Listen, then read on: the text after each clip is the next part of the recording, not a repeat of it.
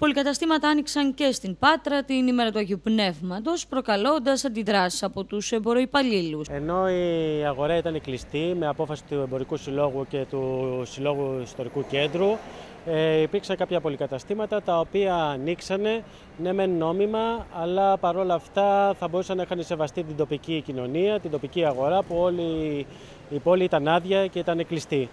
Ε, αυτά είναι απαράδεκτα πράγματα. Φαίνεται ότι τα πολυκαταστήματα έχουν μπει σε μια ρότα, η οποία να θέλουν να εξοντώσουν τις μικρομεσαίες επιχειρήσεις, να καταργήσουν τις αργίες, να καταργήσουν τις Κυριακές και το μόνο που τους νοιάζει είναι αυτή τη στιγμή να κάνουν ζημιά στην τοπική κοινωνία. Τα πολυκαταστήματα δεν σέβονται τους εργαζόμενους, τονίζουν οι υπάλληλοι, αφού, όπως αναφέρεται, πολλοί ενημερώθηκαν την τελευταία στιγμή πως τελικά θα δουλέψουν. Οι υπάλληλοι, ενώ είχαν κανονίσει να φύγουν τριήμερο, τελευταία στιγμή τους λένε ότι θα είναι ανοιχτά τη Δευτέρα, με αποτέλεσμα αρκετοί από αυτούς να χάσουν τα λεφτά που είχαν δώσει για το τριήμερο.